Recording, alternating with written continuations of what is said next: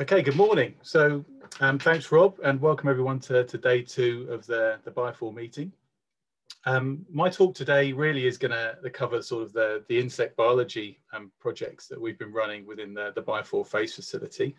Um, and I, am sort of the, the, the, lead of the core insect projects. There are a number of um, applications and grant applications now that have been successful that have an insect element, but this is sort of the core stuff that we've been doing within the FACE facility, specifically looking at these insect-plant interactions um, and beyond. And by beyond, I'll explain that as I go through, but kind of beyond within the system itself. So not just talking about the insects and plants and how they interact, but how that then connects in with all the other data that's being collected actually within the FACE site. Um, but also um, beyond the woodland system itself, because it's important to remember we're looking at part of a landscape and, and, woodlands are a much bigger part of that. And the under climate change predominantly is me talking about elevated CO2, but I'll throw in a, a couple of other things as well. So the turnout apparently yesterday was fantastic. So maybe all of you um, attending today have already had the, the background to the BIFOR face, but I thought it best not to assume that entirely. So I'll just give you a very brief overview of the facility because I'm the, the first talk for today. So this is nestled in a, an area of woodland. Um, and as you can see from those photos, actually it's it's pretty discreet despite the size of these um, structures. Uh, and it was amazing how these when these things were, were put in place that there was very minimal impact, sort of almost no footprint whatsoever, and certainly nothing permanently damaging the, the forest floor.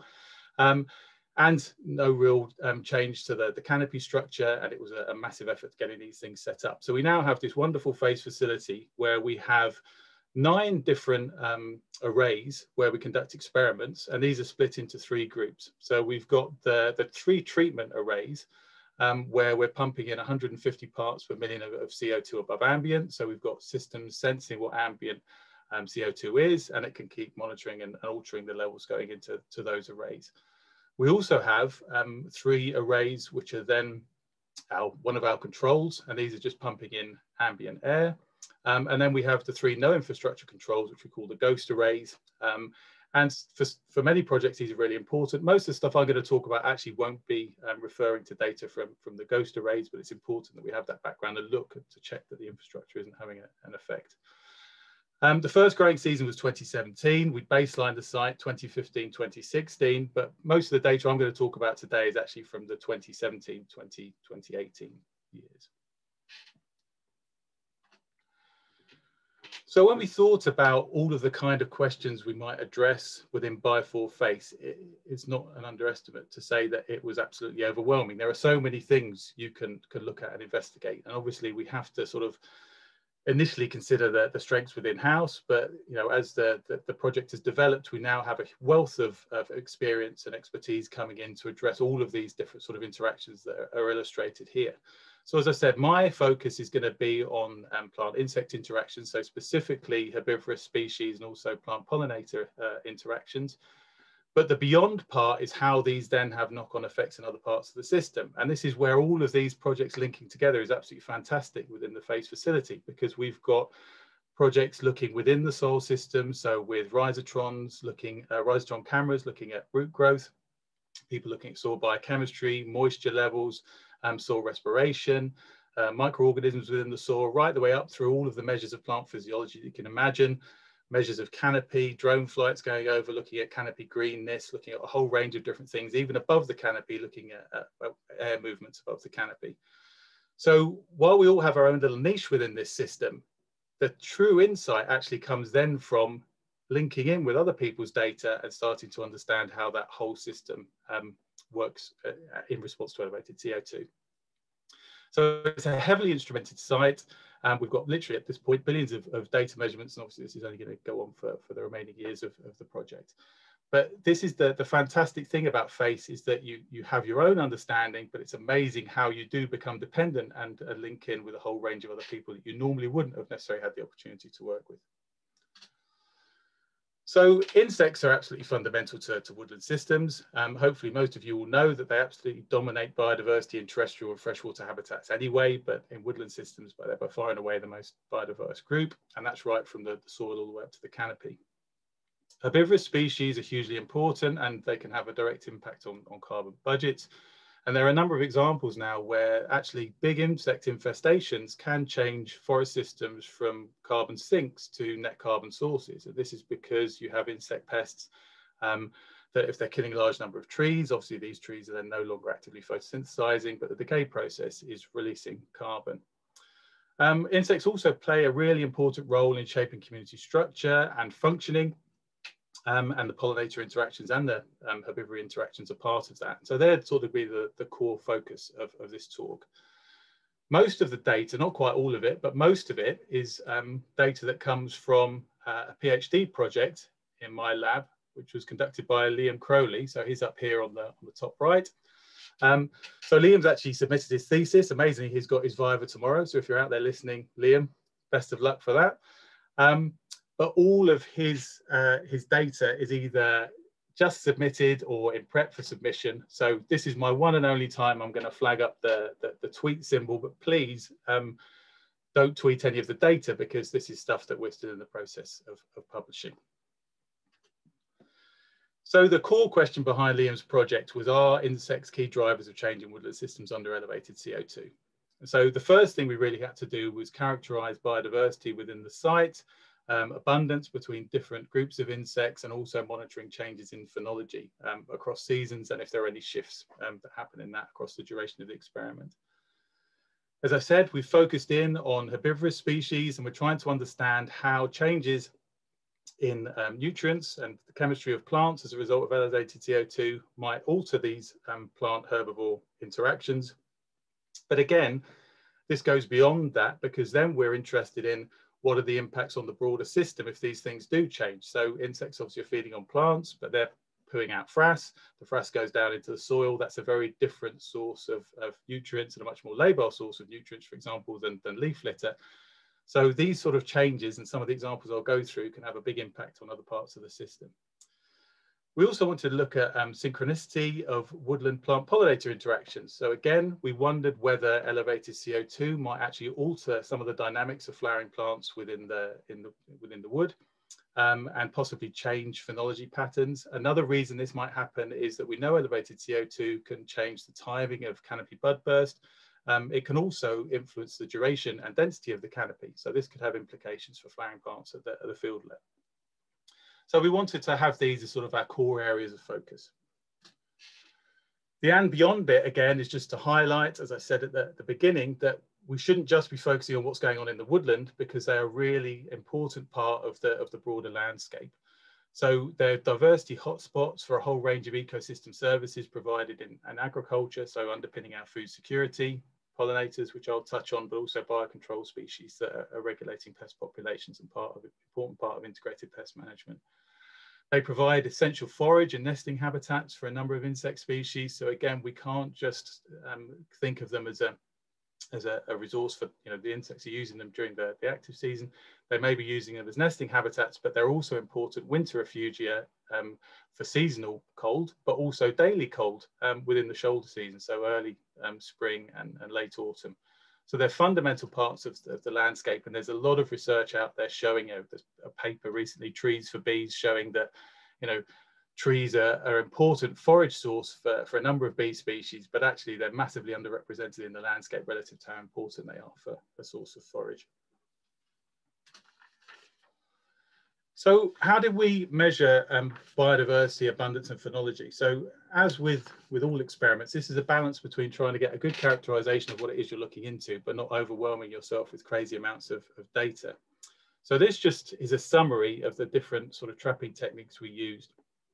And the, the goal here really was to, to document what the diversity was in different structural parts of, of the woodland. So we've got pitfall trapping measuring invertebrates um, at ground level, we've got malaise traps and pan traps, um, recording plants that are flying through the, the system um, and pan traps set up in different colors that, that sort of link in with the different kind of colors of flowering plants predominantly within the wood. Um, we've got beating, so active sort of knocking insects out from the understory and the canopy. And for each of these, there are different durations for how long we sample, there are different frequencies, and there are slightly different numbers of, of sampling. but effectively it was trying to strike this balance that we're, we're trying to get a good representation of what is there, how are they changing um, across the year, um, and then how are they changing across years within the, the elevated CO2 and the, the control arrays. So this is a point I'll mention um, in other slides as well, but obviously, unlike the plants, um, for where you've had a, a lot of talks yesterday, insects are mobile organisms. So we cannot control for all of them which ones are utilizing ECO2 and which ones are, uh, utilizing the, the control arrays. For some of them we can, and they are ideal study systems, and I'll, I'll focus in on some of those. But actually, how they distribute themselves within the system can give an indication of what the, the sort of response is to elevated CO2 as well. So despite them being mobile, we can get a lot of insight in how they're utilizing different parts of that system and whether that changes under the different treatments we have. This is just a very um, quick and simple overview of a, a, massive amount of effort on, on Liam's um, part, um, working through all of the insect samples collected um, across the, the, range of traps. And this is just showing um, data for year one, but it gives you a, a, pie chart with an overview of the, the orders that we've identified within our, our different traps. Um, and perhaps the entomologist wouldn't be surprised to find that, that Diptera um, are dominating and nearly 50% of all the samples collected are, are, are, true flies. So Diptera, but we've got a whole range of other orders and pretty much it's, uh, you know, it's, a, it's, an assemblage that is typical uh, of an oak woodland, um, which was reassuring. We didn't want to find out that having set all this up, that we've got some weirdly unique bit of oak woodland that, that isn't typical. That's one thing to flag up here. Um, that doesn't come out in this pie chart, but something that is slightly strange at BIFOR is that we haven't yet collected any ants in our um, in our traps, which is slightly curious. And there may be some people working on ants out there that, that might be surprised to hear that. Um, and then we're looking at sort of changes in abundance and phenology. Uh, this is just a representation set from, from pitfall traps. We had similar trends with slightly different numbers, obviously, with the different trapping methods. But this is just to show that we're getting a, a gen generally classical sort of phenological pattern of change uh, across the year. There are some interesting troughs and peaks that we then interrogate further and look at and see how they relate to um, the microclimate data that we're collecting. But there's this classic pattern of, unsurprisingly, increasing numbers towards summer, a dip, um, you know, reasonable numbers in autumn, and then, you know, low numbers in winter, but actually a, a reasonable number of activities still in January and February for that particular year. And when we look at the microclimate data and see which ones correlate best, we find that actually temperature is the one that seems to be driving these patterns of abundance much more than things like precipitation. So precipitation is important, but temperature really is, is the best indicator at the moment for the, the data we have of, of what these patterns are, perhaps unsurprisingly given insects are ectotherms. So that was just a very quick overview and sort of the conclusions coming out of this biodiversity are that thankfully, we have a typical oak woodland um, dominated by um, biodiversity that you would, would expect, uh, with a few unique characteristics. The site is being well characterized by the methods we're employing. So we think we've got the balance right of not oversampling the site and not having too many um, samples collected that we can't manage them. Um, as I said, it's dominated by Diptera. These abundance patterns track temperature, not precipitation. Other information was that the canopy actually is the, the most stable thermal environment. So I had the, the, the lowest variability across that particular year. Um, and we we'll obviously look at that as years um, move forward. Um, and it was more diverse than the understory. Thus far, and this is beyond year one, so all, all of the, the years data we've looked at so far, so three years of data, um, we haven't seen any significantly obvious impact of ECO2 on general abundance or phenology patterns, but that's perhaps unsurprising because we're not really anticipating this to be a direct result of ECO2. It's more the indirect results on insects as a result of elevated CO2 impacts on, on plants.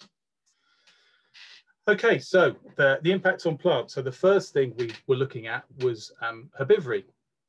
And we know from a number of studies that elevated CO2 alters plant chemistry with one of the most common responses being an increase in carbon ratios.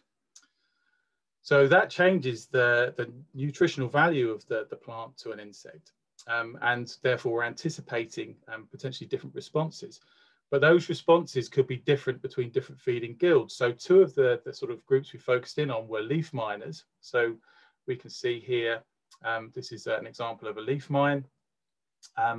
And I'll explain a bit more detail, but these are a fantastic study system for a whole range of reasons, but they're feeding on the actual leaf material. So we might anticipate that they will have uh, a quite a, a, response to any change in leaf chemistry as a result of elevated CO2.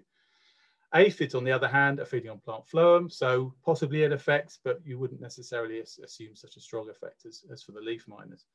And then just to mention another way in which we're recording more general herbivory, so not species specific for, with regards to the insects that are feeding, but um, species specific for different um, tree species, we've been collecting leaf litter right from the outset and using image analysis, we're documenting levels of herbivory. And so we've got a great timeline now of how those have, um, patterns of herbivory have changed. And again, linking it to climate and extreme events and all the other things that have happened across the, the years since the experiment started. So why are leaf miners such a, an ideal system?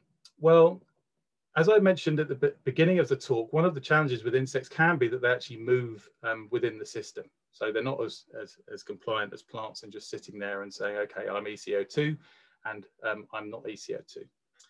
But with leaf miners, actually, we have got an organism that spends its entire um, developmental life history um, within a leaf. So adults lay eggs on a leaf, the egg hatches out, the caterpillar crawls into the leaf and feeds within the sort of meat of the sandwich of the, the leaf. Um, and it works its way through all of its developmental stages, all the larval instars, it pupates within the leaf, and you can even determine um, successful eclosion because there'll be a little emergence hole. So this is fantastic. We've now got an insect system um, that's an important herbivore within woodlands where we can document the impact of elevated CO2 on development. Um, and the way we can do that is because they leave this wonderful trace on the leaf and this trace can be quite easily um, characterizable to a particular species. So you can identify the species often, often based on the kind of trace it leaves behind because there are only certain species that you find on, on certain tree species. And you can use image analysis, as I'll explain in a minute, to quantify this. So you've got a direct measure of how does elevated CO2 affect the, the level of herbivory in that particular species, which is fantastic. Leaf miners are found in, in a, a, range of different orders, but the dominant one of the ones we were focusing on were within the, the Lepidoptera. Okay, so it really is the perfect study system for this kind of experiment. So then we had these hypotheses about what might actually happen. So in the sites where we're supplementing with, with CO2, where we anticipated um, increased carbon nitrogen ratios and actually the data is showing that. So the data we have um, for, for leaf samples being collected now is that definitely a number of tree um, species are showing elevated um, carbon nitrogen ratios.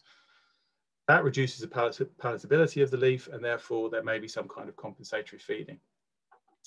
Another factor could be that because they've got this increased resource with higher levels of carbon, that the plants are able to increase their defensive compounds, um, which in turn results in reduced performance of the, of the, the insect and therefore decreased levels of, of herbivory. Uh, and then the final hypothesis really is the fact that they could be downregulating um, their defense gene expression. Again, there's evidence of this under elevated CO2. And in this case, you may get increased performance of the, um, the herbivore and increased levels of, of herbivory. So we were looking at oaks and, and hazel. Most of the data I present are going to be on, on oak but we were collecting 200 leaves from each array. And for, for those samples for each year, we were looking at the diversity of different species of leaf miner, the abundance of mines per leaf. Um, and then we were able to quantify analysis by tracing an outline around the, the mine and then using ImageJ, ImageJ to work out exactly how much of the leaf had been consumed by that particular individual. And then you can start to get really nice data sets showing you what's going on with different leaf miner species or different tree species under the, the different treatments. This is just the, the sort of the, the, highlight of one part of that data set and to show the changes we noticed over the first two years of, of from the point of, of, fumigation starting. So here, this is um, data for, for oak leaves. You can see the, the different genus of, of leaf miners across the bottom, so Stigmella, Phyllonorycter, Ectoedemia. Um, and we can see that in 2017, there was no real change in levels of herbivory between control arrays and, and elevated CO2. But then for two of the species that we'd identified, um, there was a significant decrease in herbivory um, within the elevated CO2.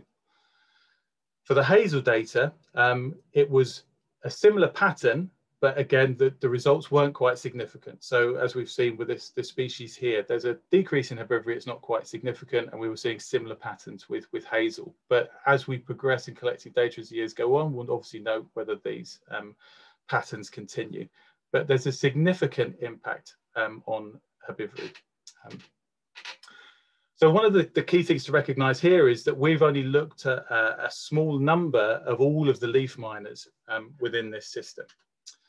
So even given that, we've noted a higher density of, of leaf mines um, on oak leaves. So more than 40% of oak leaves within the face facility um, had leaf mines, which is much higher than the sort of 20, the 10% that's typical. Um, there was no real difference in leaf miner abundance. Um, in control arrays, when we calculated sort of the, the, the, mean across all the leaf surface, on average, the leaf miners were consuming 2.73 meters squared of leaf surface area in 2018, but it was 1.95 um, in the elevated CO2 array. So that's a reduction of almost 30%. And the key thing here is to remember this is just a small fraction, as I said, of all the leaf miners, which in turn represent a small fraction of all the leaf herbivores. So the consequences across the whole system could be much more considerable.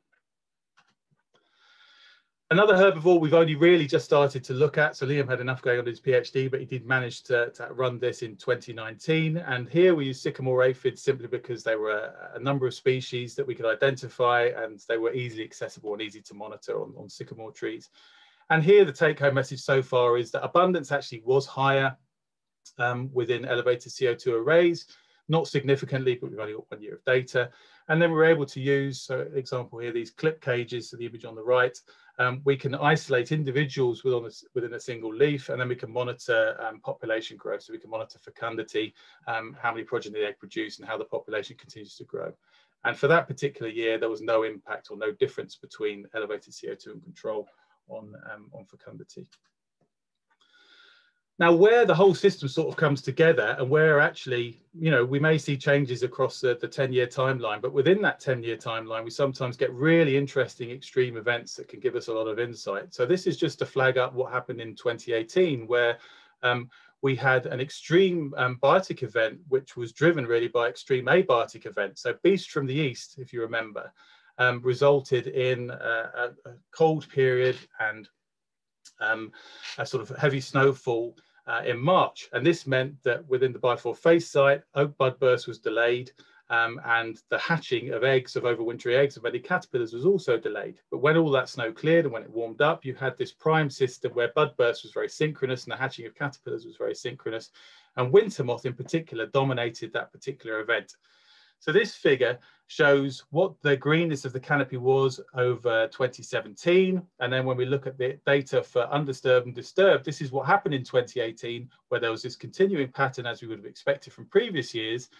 It then followed that pattern in the undisturbed sites, but there was a big drop in the greenness of the canopy where we've seen this defoliation. So we can now link that to see, okay, well, what happens in the broader system, because here it literally was raining frass, so insect poo is dropping down into the lower system. That's a massive pulse of nutrients into the soil. And we've already started to identify with our colleagues on other projects that there were changes in um, soil respiration at that point. There were changes in soil biochemistry. So this is where all of these different projects start to link together. So if I now move on to the final part, which is about plant pollinator interactions. So here, as I said, we're looking at a system where there might be a change in flowering phenology and what impact does that have on um, plant pollinator interactions. So we use bluebells because they're, uh, you know, conveniently already naturally growing within the face arrays, and there's patches of bluebells in every array. And we were using photos um, to track uh, the changing in flowering phenology. And then we had um, periodic pollinator surveys to record what um, insect species were coming to, to visit the flowers. So this is the, the, number of pollinators coming to visit. And then within bluebells, again, a great system, we have uh, the ability to, to determine exactly what the seed count is. Um, for the, for the different flowers. So this just shows you sort of a time lapse that emerges. And this really is a, bluebells are a fantastic system to look at the development of first flowering, the progression through flowering within the, each plant, and then the transition to senescence and, and seed production. So we really were able to get great images and document this change and compare elevated CO2 and control sites. So this data is, is um, just recently produced by, by Liam, um, and this is showing that actually we're already seeing a response in bluebells, it seems. So uh, they're flowering earlier in the elevated CO2 arrays, and on average, it's about six days earlier in the elevated CO2 treatments. But interestingly, the duration of flowering isn't changing. So it just means that flower production is pushed that much earlier into the season. Um, the midpoint as well of the flowering period between first flowering and uh, plant senescence is always is also six days forward. So there's this clear shift, and we're trying to understand exactly what might be driving that. If we then look at visits, we can see that visit numbers within that early flowering period um, aren't that high. They dominate within the mid and the later period. And the reason we broke it into these sort of early, mid and late is simply because we took the pollinator visits at two week intervals throughout the whole flowering duration. So therefore we had this early stage, mid stage and late stage. If we then uh, total all these up and break them down into which species and which orders are contributing those visits, we can see that there's a change in the pollinator assemblages as we work through the different parts of the season. Some species are pretty consistent, but there are changes as work through. So we can then start to identify which ones might be most impacted by this shift to an earlier flowering time. Um, and therefore which species might be negatively or positively affected. Obviously it has implications both for the plant in terms of pollination, but also in terms of um, the insect with access to forage.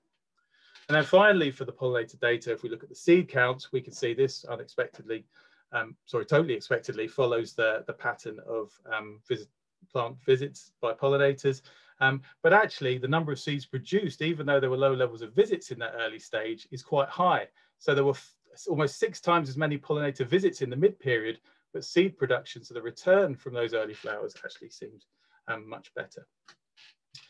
So uh, just to conclude this, the bluebell systems are already showing um, this response to ECO2 with an earlier but not extended flowering period. This loss of synchrony may have a significant impact on plant pollinator interactions and then other parts of the system. So we're going to have ongoing monitoring of, of the bluebell system. We also want to look at other ones at, at, different parts of the year. So ivy in particular, we're interested in because this is a really important resource for insects getting ready to prepare for, for winter hibernation and entering diapause. Um, so this is another system we're going to look at. Okay, so that wraps up the, the talk and a, a run through of, of most of the work, as I said, undertaken by, by Liam. Um, there's too many people to, to mention everyone, but just to highlight that team here was one of the MRes students who helped collecting a lot of this data. We've also had a number of undergrad project students um, come and help, as well as master students, including people from Harper Adams. I particularly wanted to highlight the, the BIFOR FACE um, core team, so Chris Hart's team, because without them, we just couldn't get this work done. John Sadler and Jerry co-supervised the project, and then special thank you to Deanne. So Rob's already mentioned what fantastic job she does with admin, but she literally and regularly gets her hands dirty collecting samples. Um, so thanks Deanne for all of your help with this as well. The Leverhulme Trust for ongoing PhD funding, and of course the JABS Foundation for providing us with the site itself and all of their ongoing support. So thank you and welcome to take any questions. That's super. Thanks very much, Scott. Brilliant talk. Really interesting, and um, it's great to see um, all that uh, work coming through like that. Um, Liam is online and um, and uh, uh, has uh, been helping out with a couple of the questions um, that have popped up. Um, I've got one here though from Robin. Robin, would you like to ask your question directly? Yeah, I'd be pleased to. Thanks, Rob. And uh, thanks, Scott, for that really interesting presentation. And thanks, Liam, for all that great work. Really interesting. Um, I'm interested in this area, and, and the question is uh, is really um, you know, focused on the, the, the potential of this research from a practical forestry uh, perspective. And, and obviously, there's this huge crossover really between insect Uh, uh, uh, and uh, tree and the convector tree pathogens. So the question is kind